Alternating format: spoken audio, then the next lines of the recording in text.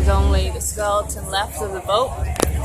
And now the smog is going towards the building, which is going to be a problem. That's the Grand Promenade.